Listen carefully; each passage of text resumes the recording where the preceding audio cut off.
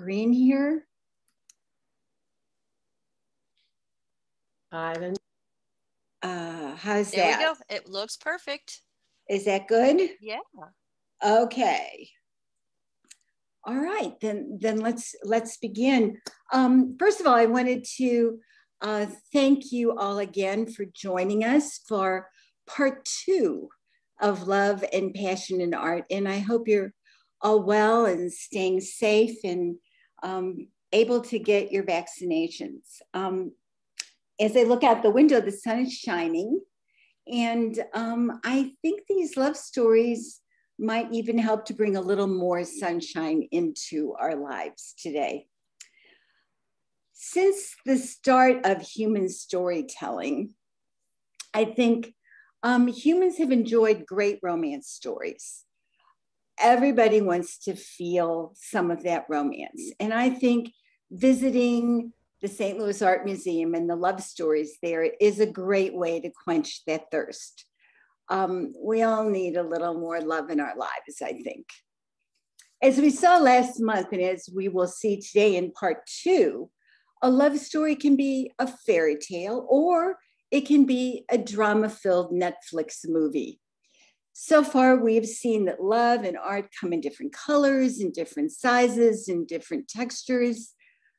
And there are thousands of ways it can manifest itself. Um, it doesn't come in a one size fits all box. So we're shining a spotlight on many of them today, and the stories couldn't be more different. Love is a powerful emotion, and love stories are endless. They've been the mainstream of art, the mainstay of art for millennia. And there's humor in the topic as well, as demonstrated in this cartoon about modern romance. Um, our children today would never believe it, but prior to the digitization of the world, love did exist. Uh, from the allure of Cleopatra to the magnetism of the Kennedys, these love stories and these love affairs have stood as markers in history. Joan Crawford famously said, Love is like a fire. Whether it's going to warm your hearth or burn down your house, you never can tell. And the medley of love stories we'll see today fit both of these categories. So let's begin with an age old favorite.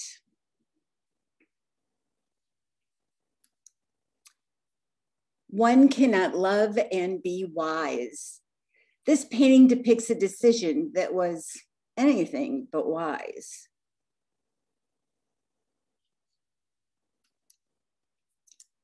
Today, beauty contests often lead to arguments amongst competitors and spectators. But in Greek mythology, there was only one beauty contest that would lead to war, death, and destruction.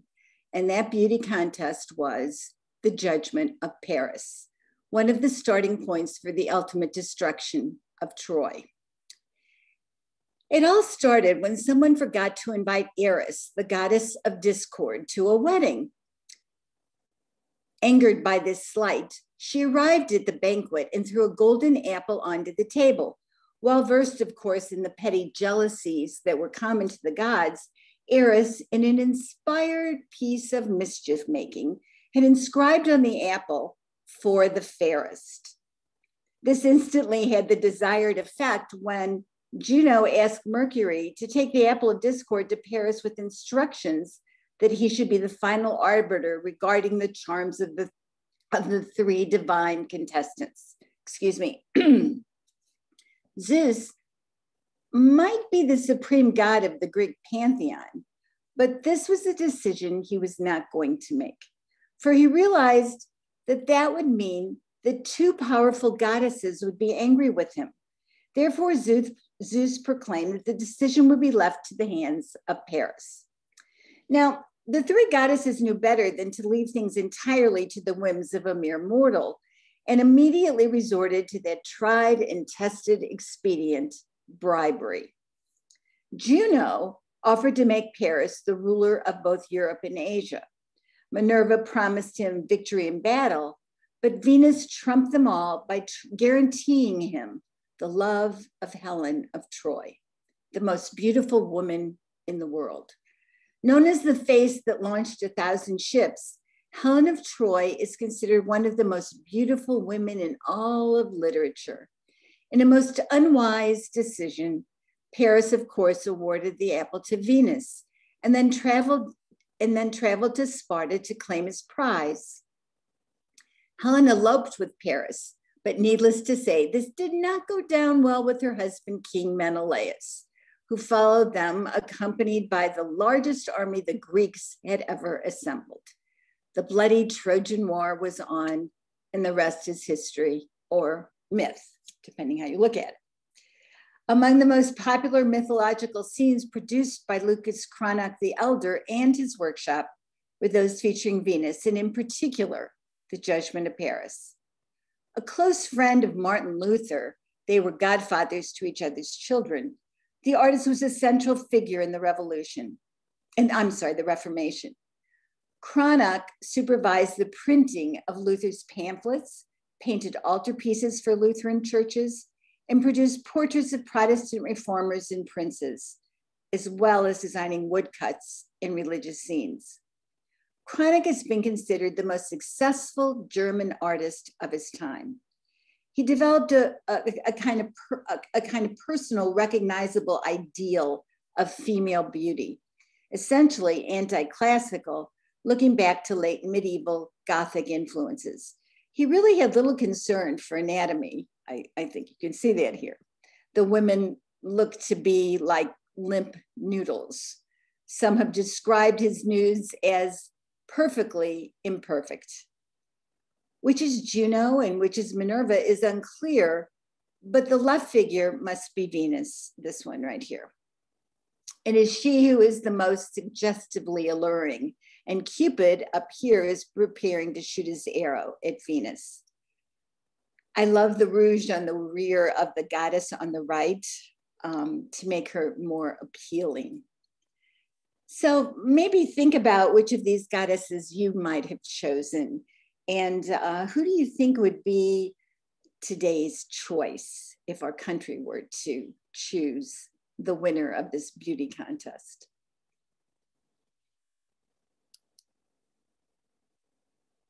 In this next painting, we discover Picasso's muse, lover, and lifeblood. No painter, not even Michelangelo, was as famous as Picasso in his own time. And he was the artist that every other artist had to reckon with. Without Picasso, modern art would not be the same. At his best, Picasso, who was really a lecherous old goat, made tidal waves. He challenged accepted beliefs about art and abandoned that sense of absolute visual certainty favored since the Renaissance. The artistic genius of Picasso has impacted the development of modern and contemporary art with unparalleled magnitude.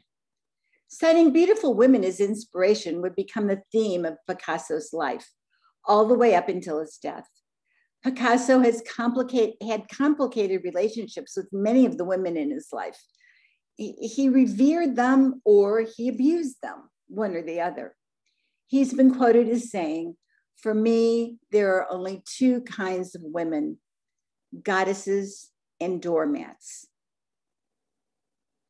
He often obsessed with the young woman, and she became an artistic muse for him, inspiring many works. All of the women Picasso took as either wives or lovers were painted by the artist. He was notorious for his relationship with women, sometimes two or three women at a time, letting, as he said, the women fight it out. He was married twice and had multiple mistresses, and it can be argued that his sexuality fueled his art. In this painting, a pitcher, a philodendron plant, and a basket of fruit rest on the mantelpiece and are bound together by sweeping black lines. Pablo Picasso often invested his still life with secret meanings. And this work is a disguised portrait of his young and voluptuous lover, Marie Therese Walter. The picture is painted in brilliant yellow, and it often represented Marie Therese's hair, while the green apple suggests the form of her breast, and the curling black lines refer to the contours of her body. Picasso called Marie his muse, lover, and lifeblood. As the story goes, in 1927, in the late afternoon, Picasso noticed a young 17 year old woman through the window of the Galeries Lafayette in Paris. He waited until she came out and then greeted her with a big smile. Mademoiselle, he said, you have an interesting face. I would like to paint your portrait, he added. I'm sure we will do great things together. After all, I am Picasso. Married at the time, the two began a scandalously intimate re- relationship almost immediately. Because of the highly questionable nature of their relationship, it was kept secret from most of Picasso's friends and family and wife. My life was, with him was always secret, Marie Therese said, calm and peaceful. We said nothing to anyone. We were happy like that, and we didn't ask for anything more. Then in 1934, Walter became pregnant with their child. And after Picasso's wife discovered this, divorce proceedings began. Walter and Picasso were still not allowed to live together, but she moved into an apartment a few doors down from him. The new family lived together for a short while, with Picasso playing father. However, two months after his daughter's birth, Picasso met Dora Maar and soon embarked on a relationship with her. Picasso supported Marie Therese and her child financially, but he never married her. On October 20th, 1977, four years after Picasso's death, Marie Therese committed suicide. Picasso produced an incredible 20,000 paintings, prints, drawings, sculptures, ceramics, theater sets, and costumes. He amassed a personal fortune and a superb collection of his own art, many of which were paintings of Marie Therese. He died in 1973, leaving an artistic legacy that continues to resonate today throughout the world. I just think this is such a funny cartoon because some have wondered why Picasso would need a model at all.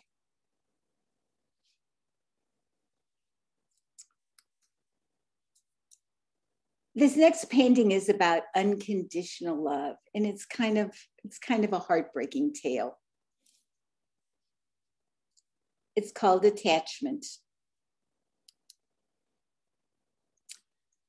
This painting is about love, but love between man and his best friend.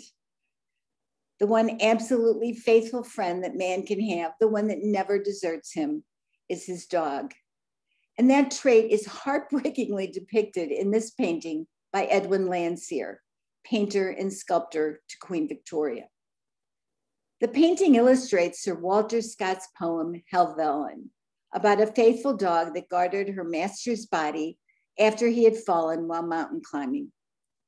Though the body went undiscovered for three months, the dog stayed to ward off ravens and foxes that might have scavenged the remains. Edwin Landseer dramatizes the scene through vivid contrasts of light and shadow, and by placing the man's body at the bottom of the composition, which he emphasizes the great height from with, which he fell. Now, this is a, a verse from the poem, so get your hankies ready. How long didst thou think that his silence was slumber?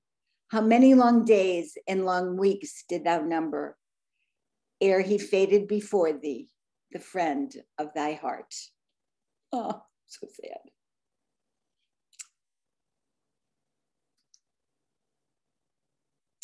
Less Punished would be the title for this popular story from the Apocrypha.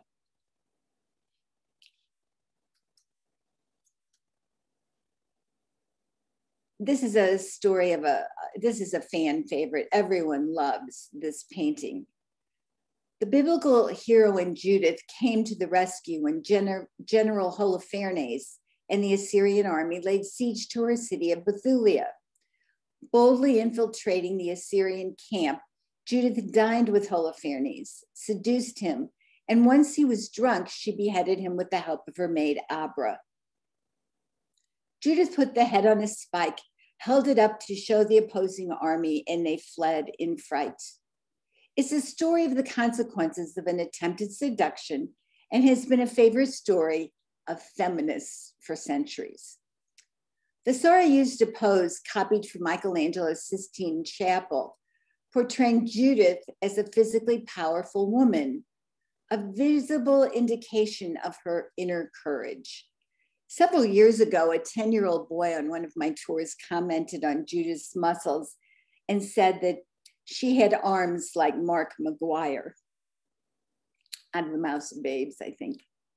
Giorgio Vasari, the painter, was one of the foremost artists of 16th century Italy, renowned not only as a painter, draftsman, and architect, but also as the author of Lives of the Most Eminent Painters, Sculptors, and Architects, a series of artist biographies that form the basis of modern art history. It's filled with gossip about the lives of Renaissance artists, and you can still order it, I think, on Amazon. It really is a fun read. It's all about gossip. It's great. His lives remain perhaps the most popular early work of the history of art. So Giorgio Vasari arguably invented the field of art history. He coined the term rebirth or Renaissance to describe what had been a series of developments in the history of Italian art from the 13th century onward. In short, Giorgio Vasari branded the, res- the Renaissance, giving it the image we associate with today. Though he was not Michelangelo, I mean, and, and really, who was, um, he was a marketing genius and he was a workaholic. He and his army of assistants could and did complete projects in Italy on a grand scale. Vasari worked for the mighty Medici clan. This painting is an homage to Cosimo de' Medici. Judith's jewels, if you can see them, you know, here and, and here, Judith's jewels are a um, are taken from the collection of antique jewelry that Cosimo de' Medici prized. So it was a tribute to Cosimo, and yet it was kind of a sales pitch as well. Look, look what I can do.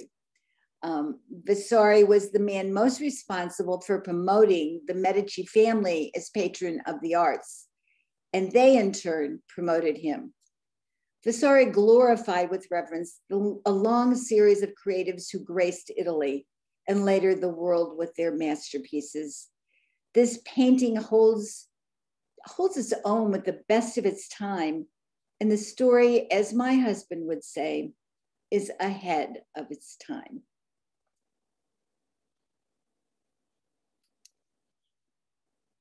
A true power couple would be the title for these next two, two sculptures.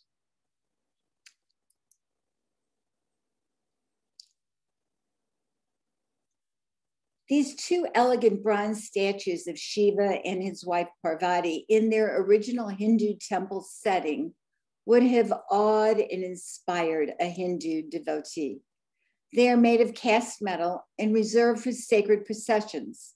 Long poles would, scary, would carry the sculpture, draped in silk garments and garlands of flowers through the streets on festival days. They would put the poles through here.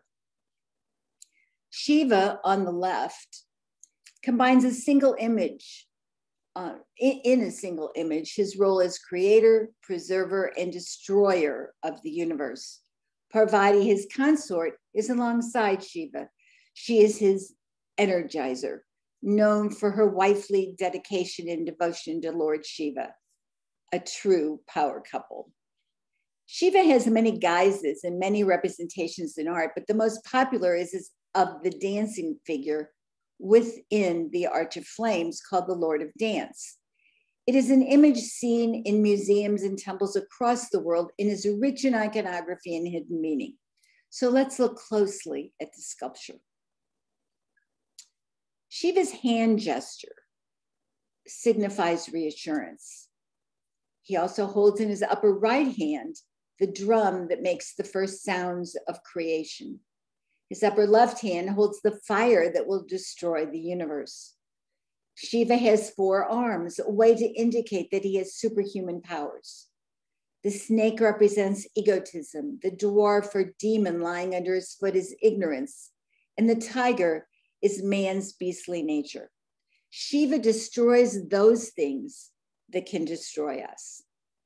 Parvati, consort of Shiva, is commonly depicted alongside him. Sculptures such as this were intended especially for festival use. There, the deity would be transported on a carriage through town like a royal guest, having first been bathed and perfumed and dressed. The opportunity for the public to see and be seen by the deity embodied in this image was considered one of the most auspicious aspects of worship. Parvati's love and devotion are overwhelming and all encompassing. When Shiva saw her and realized how beautiful and powerful she was, he was unable to resist her. The two were married in a sacred ritual performed by the gods.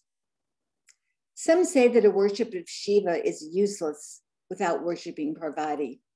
She is the mother goddess in Hinduism, carrying the divine energy between man and woman. Statues of Shiva are almost always shown with Parvati as a constant companion by his side.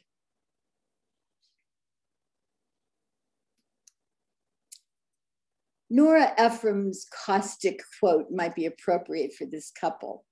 She said, Husbands are never dead when you need them to be.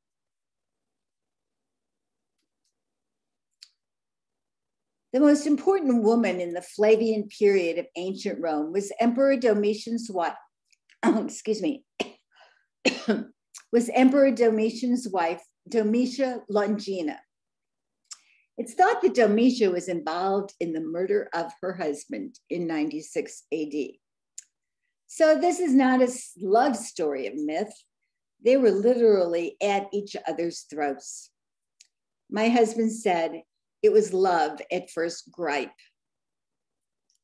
Following Nero's suicide in 68 AD, the Roman Empire plunged into a year long civil war. The crisis came to an end with the accession of Domitian's father, Vespasian. He reestablished peace in the empire and founded the short lived Flavian dynasty.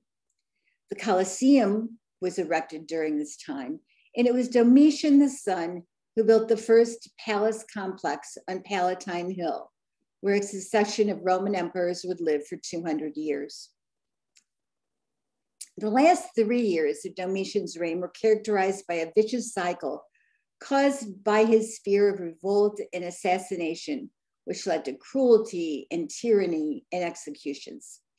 He had vestal virgins executed and buried alive, harassed and tortured philosophers and Jews. He executed officials who opposed his policies and confiscated their property. And this in turn led to more plots and eventually to his death. Domitian was a very jealous man, and malicious rumors were propagated by hostile senators regarding Domitia's alleged misconduct with an actor. The emperor did not take insults directed at his marriage lightly. He divorced Domitia in 83 AD. Reconciliation between them eventually took place, and she was again allowed to be part of the ruling family. However, as time passed, Domitian became increasingly suspicious of everyone and put to death anyone he believed to be disloyal. It is thought that Domitian may have found her name on a list of people suspected of disloyalty and became part of the plot to assassinate Domitian. The plot was carried out in 96 AD, and Domitian lived on for several years, well respected by the citizens of Rome. Domitian's personal, personality managed to penetrate the smooth face peering out from the elaborate coiffure.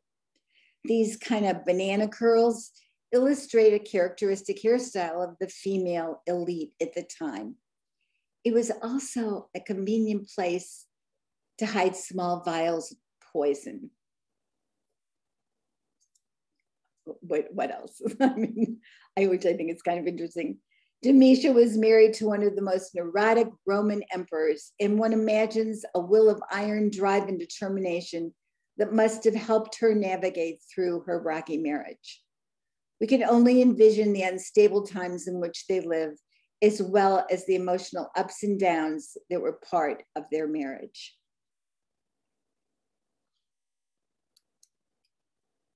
The next relationship can be summed up with the old saying, I can't live with you, but I can't live without you.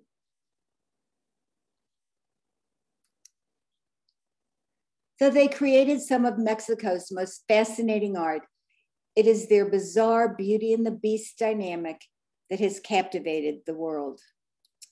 The volatile relationship between Frida Kahlo and Diego Rivera is not your typical love story. They had messy fights, multiple extramarital affairs, and even divorced only to remarry a year later. Their relationship was far from placid. Frida Kahlo and Diego Rivera first met when Kahlo approached Rivera as an art student seeking advice on her career. Though he was already married, the two fell in love and married in 1929. Their relationship was tumultuous, filled with infidelities, heated arguments, and impossible tempers. They divorced in 1939, but remarried a year later. Theirs was a typical case of I can't live with you, but I can't live without you. The two inspired each other's art tremendously and often show up in each other's paintings as well. When they married, her, her parents called them the elephant and the dove. Rivera was older, a political activist, a celebrated master of frescoes who helped revive an ancient Mayan mural tradition. He gave a vivid visual voice to indigenous Mexican workers seeking social equality after centuries of colonial oppression. This painting is not what we typically think of when we think of a Rivera painting. He developed his own brand of cubism infused with symbols of his Mexican national identity. He focused on revitalizing and redefining Mexican culture in the wake of the Mexican Revolution from 1910 to 1920, a decade long conflict that killed more than a million citizens. Flamboyant, irreverent, and unforgettable, Frida Kahlo created arresting and at times disturbing works of art. 55 of her 143 paintings are self portraits, which speak of her vivaciousness and personal tragedies. Now, it's hard not to become mired in the tragic details of her life, from childhood polio to a tram accident that smashed her pelvis and to a gangrenous foot that resulted in the amputation of her leg. Frida Kahlo's hauntingly beautiful face, broken body, and bright costumes had become her trademark.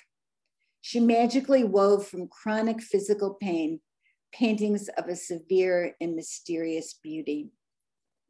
Controversies surrounded their two marriages, including his affair with her younger sister and her affair with communist exile Leon Trotsky. The open relationship between Diego and Frida that had survived other affairs broke up when Frida found out about Diego's romance with her sister. Through it all, to Frida, Diego was her other half. After her death, Diego formed a trust to turn her house, the famous Casa Azul, into a museum to commemorate the love of his life. Together, they were two of the most important artists of the 20th century. The love between Frida and Diego was palpable. Passions and resentments, adoration and pain define the intense entanglement of Kahlo's and Rivera's love story.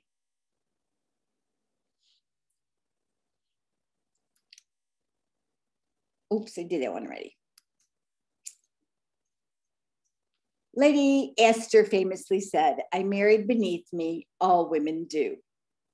Um, I have no idea if our next wife actually felt this way, but I really wanted to use this quote. Um, I, I, I love the quote. I think it's, it's really great. Um, so, that being said, let's look at our next couple. Franz Hals was one of the most foremost portraitists, portrait artists of 17th century Holland, known for his depiction of Dutch upper class citizens. We don't really know the identities of these two subjects. We don't know anything about their life, but we know they were husband and wife. Contrasting the amused expression of the husband with the, the slightly more serious demeanor of his wife, Hals captured the details of their clothing as well as their personalities. The woman presents a demure and approachable demeanor, the very essence of a respected 16th century wife. Her clothing, although not flamboyant, shouts wealth. Black was the most expensive dye and probably came from the Spanish court or church. Cloth was in itself expensive, and the voluminous dress, therefore, reflects luxury. The gown was handed down. Good clothing should not be wasted. And the lace cost about a year's salary for an average worker, all signs of her family's prosperity. In these paintings, you can see the spontaneity of Hals' work, the strong sense of personality of the sitter and the attention to details. You can even see, if you look closely, the veins in her hands. These portraits were created during a conservative phase of Hals' career when sober and elegant portraits were favored by wealthy citizens in Holland. These were painted during the height of his popularity and were painted without first doing a drawing or a study. So the forms and textures were suggested rather than delineated, giving his work a kind of lively and fresh quality. Hals' own love story, if, if you want to call it that, is a bit sketchy. He was twice married and had 10 children, and he was always in debt. The popular image of him is as a drunken brawler. And it's been suggested that he led a debaucherous lifestyle and characterized his life as, a, as just being filled with heavy drinking.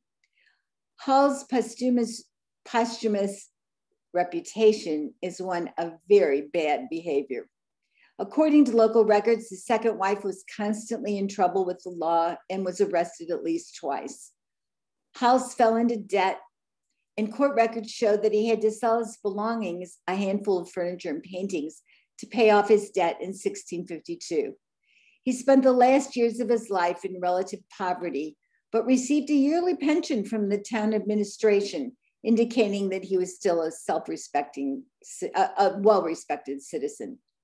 He died in Haarlem in 1666. This unknown woman sat for the artist together with her husband, whose portrait is on the right is now in the collection of the Nelson Atkins Art Gallery in Kansas City. And every so often, our two museums have a family reunion.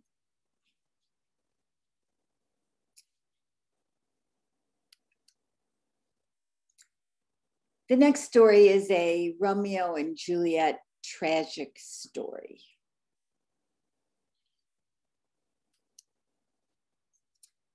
Late in 1919, in a squalid Paris studio strewn with wine bottles, Amedeo Modigliani painted a wistful portrait of his 21 year old lover, Jean Hébuterne. A few months later, on January 24, 1920, the impoverished artist died of tubercular meningitis at age 35. The following evening, Jean, eight months pregnant with their second child, leapt to her death from a fifth story window. A tragic Romeo and Juliet story. When Modigliani met his last and most devoted lover, Jean, she was a promising art student of 19 she promptly moved in with him, leaving her petit bourgeois family aghast that she'd taken up with a failed artist and a Jewish one at that. The couple shared a, a ramshackle apartment where, according to a later tenant, one could see the sunlight shining through the walls. Jean was slender with almond shaped eyes, a pale complexion, and long light brown hair. She was so reserved that friends could not recall ever having heard her voice. Modigliani introduced her as his best beloved, an endearment he apparently never used it with any other woman in his life, and he pledged in writing to marry her. although he never followed through. Amedeo Modigliani had a tortured life straight out of a Harlequin romance. He was your typical romantic genius handsome, poor, proud, amorous, drunk, ill, and he died in early death. The legend of his troubled life and early demise and the subsequent, suicide of his young fiancée has tended to overshadow his significant artistic achievement.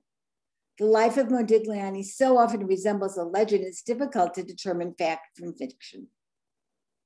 What remains of this extraordinary man is a body of work that modernized figurative painting. Often characterized by their elongated bodies and blank eyes, his subjects are distinctly Modigliani. His work is simple, serene, sensuous, moody, and influenced by tribal art. If Van Gogh is the quintessential mad genius, Modigliani is the quintessential bohemian alcoholic.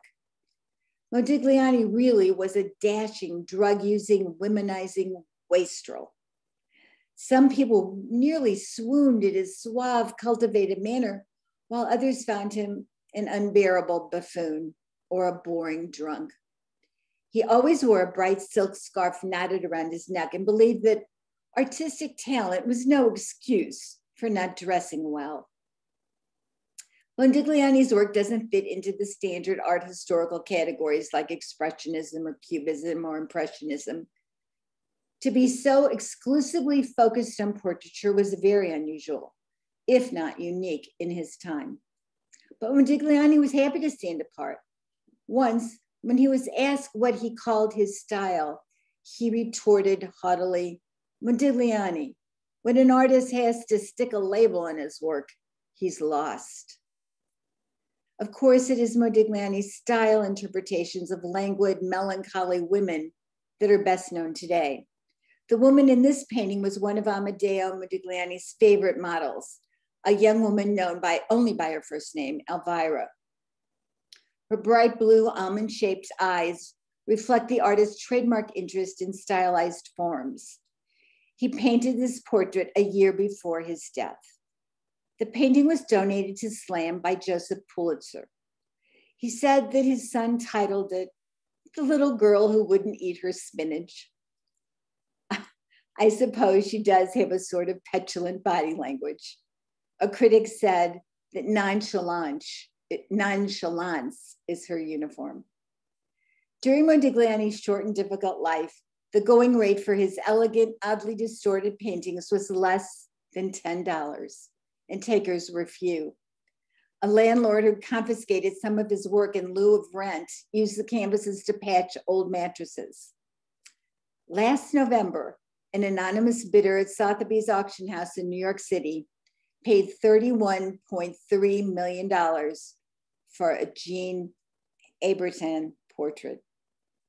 The public has always loved Modigliani's works, its elegance, its refinement, its panache, and people are always drawn to a tragic love story.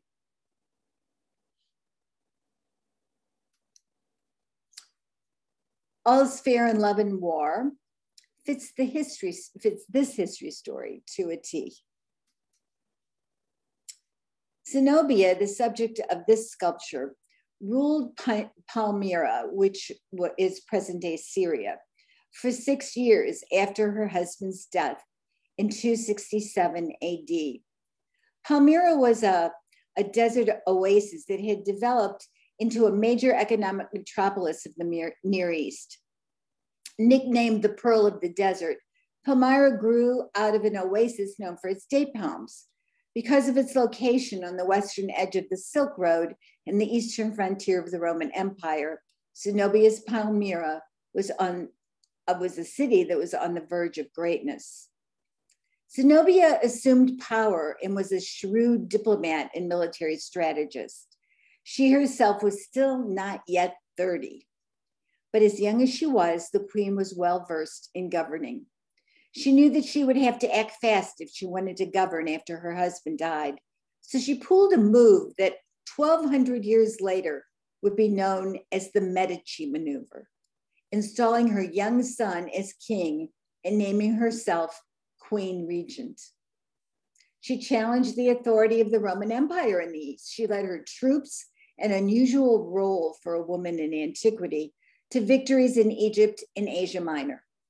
Her actions changed the empire's eastern frontier, and she was celebrated for courage and daring as she expanded Palmyra's territory. The Roman forces eventually overpowered her armies, and she was captured. Zenobia's army was utterly destroyed, and Zenobia was put on trial. Roman Emperor Aurelian marched her in chains as part of his triumphal procession through Rome. In the legend, when Emperor Aurelian glimpsed Zenobia's dignity and beauty while shackled, he fell in love with her and freed her. Although defeated, Zenobia's regal bearing led to her pardon. Hosmer conveyed those exact qualities in this popular culture. Only the chain and the slight downward tilt of her head betray her status. There are historians who believe that after publicly humiliating her, the emperor gave her a villa in the Italian countryside where she lived out the rest of her days in quiet retirement. Some say she remarried a nobleman or a senator, and some say that her children married well and her lineage continued for hundreds of years. The dignity of this figure's profile, with her head held high, and the intricate details of her ancient dress testify to the sculptor Harriet Hosmer's sophisticated carving abilities. Hosmer, one of a group of 19th century female sculptors working in Rome, held strong feminist beliefs. She saw in Zenobia an embodiment of a woman's ability to move beyond the constraints placed on her. Zenobia's bearing stresses her strength rather than her victimization. At the height of her reign, Zenobia was one of the most powerful women of the world. She took on the Roman Empire and she captivated an emperor.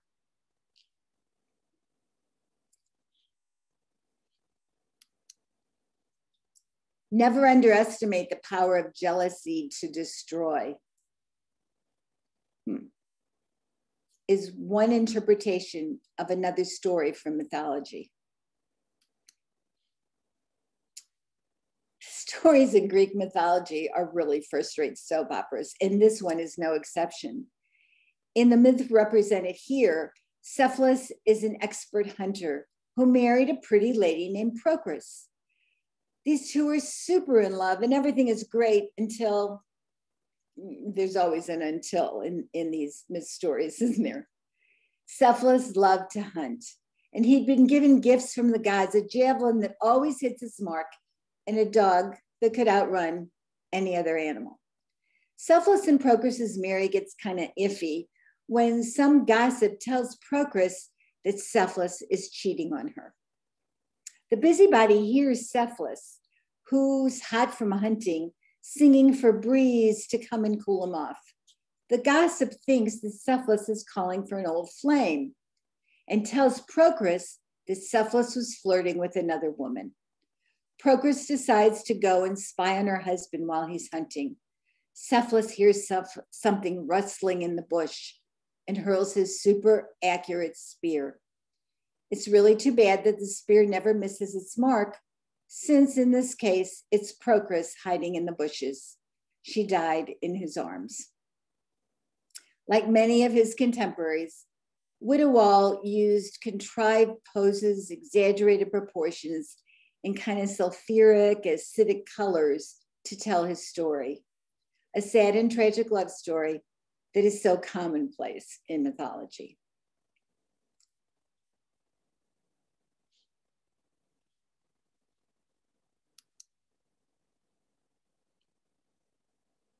Plato said love is a grave mental illness.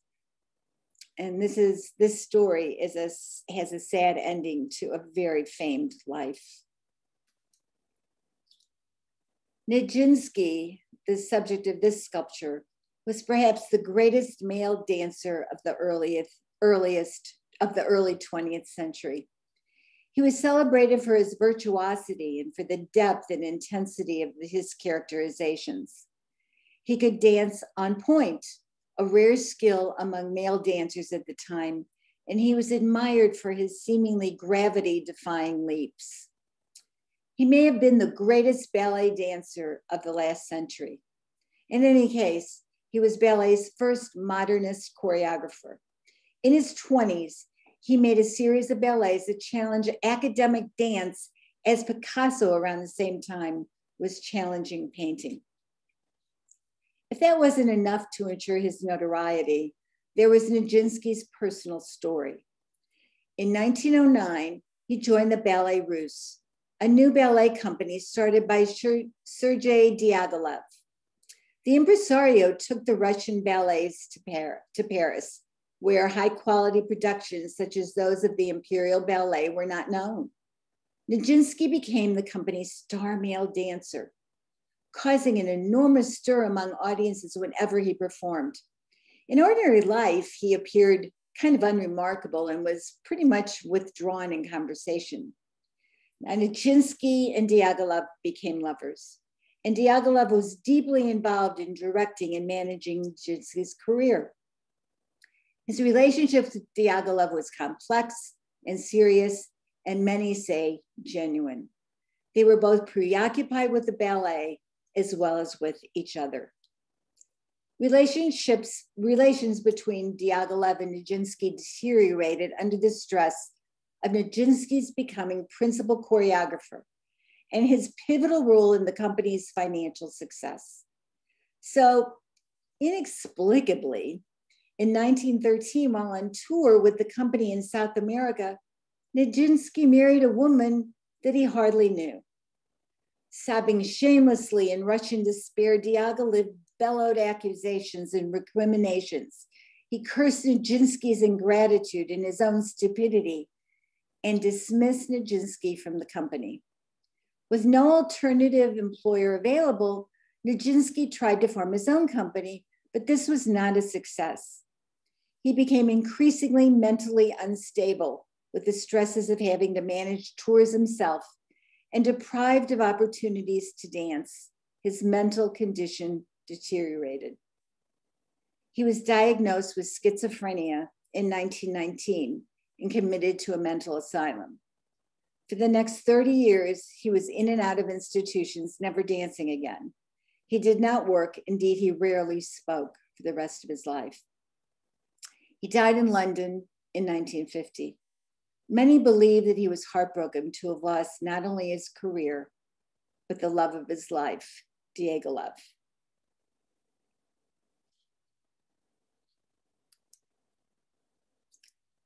For love or duty is the question posed in this story. In this painting, Arria is shown visiting her husband Paetus who had joined an uprising against the Emperor Claudius and was later imprisoned. Paetus was condemned and given a very usual choice for a senator. You could either be executed and lose your property um, and anything that you would give your heirs, or you could commit suicide and your heirs could retain your property. In the end, Arria set an example for her reluctant husband by stabbing herself in the breast first and handing the dagger to him with the words, Paetus, it doesn't hurt a bit. She reminds him that suicide is the honorable option for a Roman prisoner. It was as though she was telling Paetus that his cowardice hurt her more than the dagger. It was an incredibly popular story at the time, although I don't know why, with Arria representing a model of strength and moral conduct. The painting has focused on the moment just before Arria inflicts the wound. The story was a sort of subject used by artists like Francois Andre Vincent to demonstrate his mastery of elements of classicism, evident in his use of stage-like settings and, and his just his incredible attention to details. Although Vincent earned praise and esteem of his contemporaries, few of his major works are known in public today. Nonetheless, he demonstrates a technical ability unmatched by his contemporaries.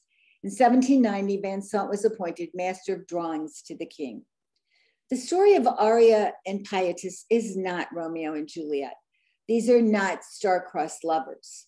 The death is a social convention, is an act of personal protest against the regime. 18th century artists understood the suicide as a duty, not love.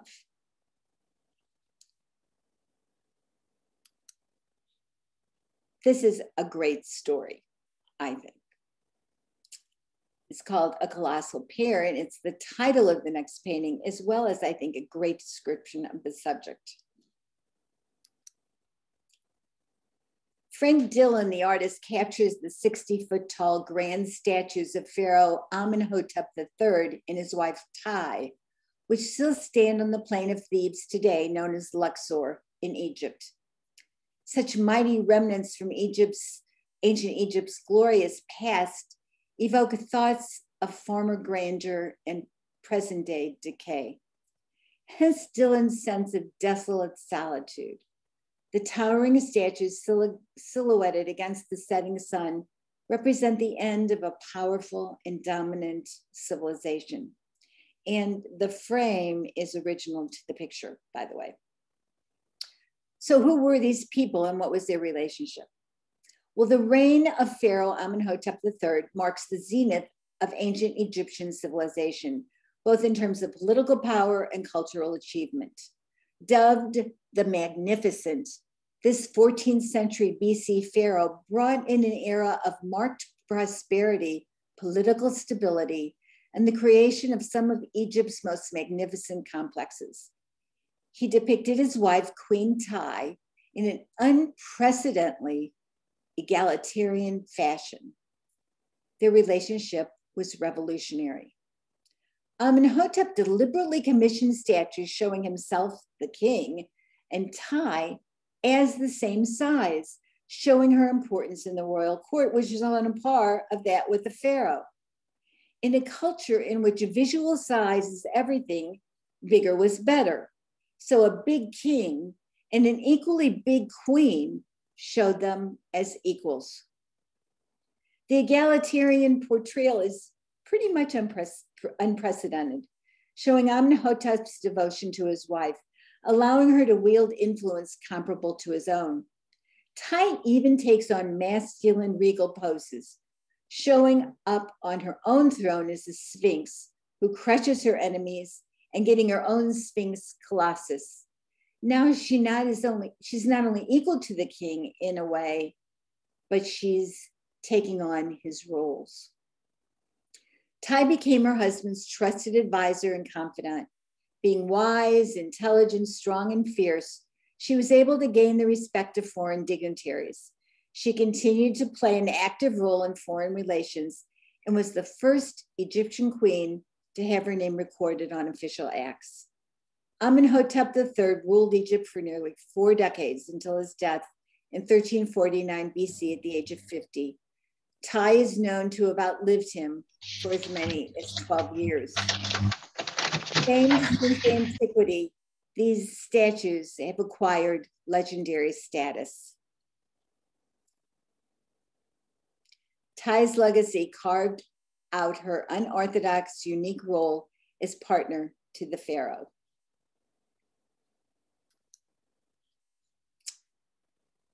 There's no love lost for any of the men in this artist's life. In our second to last piece, Artemisia Gentileschi may have been only 19 years old when she fashioned the exquisite image of this mythological Danae. The story unfolds as Danae's father was told by an oracle that his daughter's offspring would destroy him. So he locked her in a chamber, impenetrable by potential suitors. Undeterred, the god Zeus fell instantly in love with her and transformed himself into a shower of golden coins and impregnated Danae. She eventually gave birth to Perseus, who went on to have many heroic adventures, such as killing Medusa. One day, Perseus was in a competition and threw a javelin which hit an old man by mistake, his grandfather. The oracle was right. The very, this very early work shows Artemisia's accomplished handling of the female nude, as well as her brilliant depiction of textures and textiles. You can, you can feel the velvet and, just by looking at it. And incredibly, it's painted on copper. She was really a talent. But Artemisia's life story is a tragic one in many ways. In her story, there was no love lost. In 17th century Europe, at a time when women artists were not easily accepted, Artemisia was exceptional. She challenged conventions and defied expectations to become a successful artist and one of the greatest storytellers of her time. With painted images, she fought back against the male violence that dominated her world. Gentileschi was tortured in a Roman courtroom in 1612. Ropes were wrapped around her fingers and pulled tight. Across the court sat a man who had raped her. No one thought of torturing him. Defiantly, Gentileschi told him that her thumb screws were the wedding ring that he promised. She put her life into her art. And what a brutally damaged life it was. Being the daughter of an artist was the only way a young woman could hope to learn the complex skills it took to paint professionally in the Baroque age. It seems that her father, Orazio, had ambition for his daughter as her skill developed. He hired an upcoming artist, Agostino Tassi, to give her lessons. Then in 1612, Tassi was accused of raping Art- Artemisia. The resulting trial lasted seven months and shocked Rome. It made Gentileschi a celebrity in the worst possible way.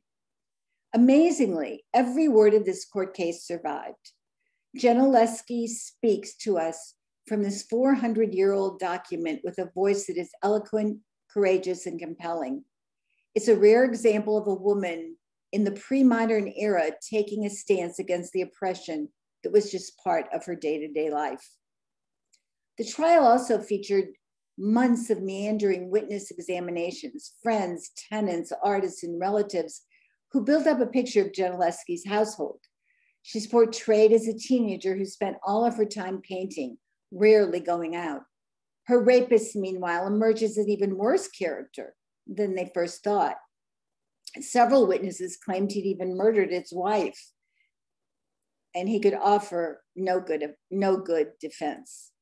Yet Gentileschi was the one tortured, and Tazzo, Tassi was set free. Why? Well, he was protected by the Pope uh, because his art, which today is forgotten, was rated at the time. Everyone knew he was a villain, but it didn't matter. He had papal concern. Gentileschi was still a teenager when the trial ended, and she was shamed in a culture where honor was everything. Yet it also provided a kind of kind of monstrous publicity. By the 1620s, she was a successful artist working as far from Rome as she could get. And she was taking revenge with the only weapon she had a paintbrush. She could not write her story because, as was revealed during the trial, she was more or less illiterate. She could paint it though and change its ending. Nevertheless, her later career was extraordinary. She swiftly became recognized as one of the most accomplished artists of her day and accommodated patronage that included the Medici family and King Charles I of England. In 1641, Gentileschi lived in Naples, where she lived out the rest of her life. Instead of a sword, Artemisia was armed with a brush. Centuries before feminism, Gentileschi is the maker of her own image, a hero of her own life. Let me suggest a couple of books that you all might enjoy on this topic. A Passion of Artemisia by Susan Vreeland and Artemisia by Alexandra Lapierre. Both bring to life Artemisia Gentileschi as the authors capture the flavor of Baroque Italy, as well as the emotional life of this really fascinating woman.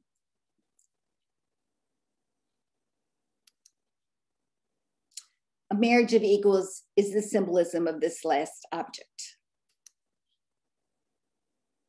This piece, recalling the shape and design of vessels from ancient China, is known as a double vase, a nuptial or marriage cup. The two halves of this vessel are connected by a hidden channel that kept the level of the wedding wine equal, regardless of how much was drunk from one side or the other, thus representing the ideal of an equitable and stable marriage, a perfect ending for our tour. So these stories, their plot twists and the art they inspire have tapped man's imagination for centuries. We've seen a bit of all in these love stories in slam. So thank you so much for joining me on this adventure through love and passion. I hope these stories will inspire you to see these masterworks at the St. Louis Art Museum as soon as you're ready. Um, stay well and safe, and we hope to see you next time. As Groucho Marx said, I was married by a judge. I should have asked for a jury.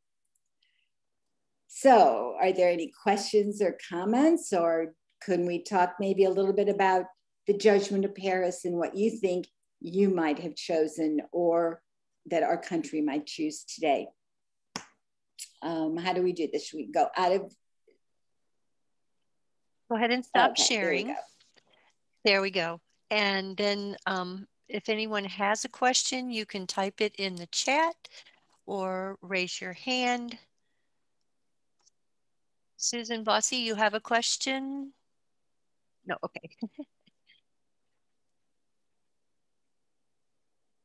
There's something in the chat room. I don't know what they are. There were um, actually there were from earlier in your talk. Um, there was a question from Lee about how large are the Indian sculptures. I think that was towards okay. the beginning they're, of they're your. about um, like this. You know, maybe maybe the the statue of Parvati is maybe this big. Um, the one the Shiva one is bigger. It's probably maybe about this big. Can you see my hands? Is that? Can you, is that describe it okay? Okay. I think so. Um, I'm not sure if Lee's still with us. Then Al had a question, and again, this was early mm -hmm. on. Um, any significance to no right hand? That was the question. Um, and I think it was at the one or the first or second thing that you were, uh, piece that you were talking about. No right hand. I don't know which one he's referring to. Yeah. Um, I'm not sure that he's still on. So the next question, Nancy, uh, would you please provide the recommend recommended book titles? So if you would like, you could, um, Dale, you could send them to me and I could send them on. Or okay. Nancy, would you like to um, would you like to ask anything further detail? The book the books are really very they're they're interesting. Um, one of them is a lot more detailed, a lot more academic. The one by Susan Vreeland, I think, is a novel based on her life. It's not um, necessarily as academic as the other one, but they're they're both really very good. Her life was her life story is very very interesting. I've read other things by Susan Vreeland, so she's a good author, and uh-huh, she is interested in that one in particular. Yeah, it, it really brings it. It brings you know you kind of feel like you're there. Mm-hmm in, in you know, yeah, I think I think it, it just kind of um, puts Rome also puts you puts you into Rome in the in the in the 17th century, um, which I think she does a very good job with. Oh, that's really nice. And the um the the missing right hand that was the the Parvati statue. Oh no, I just think I think that oh okay.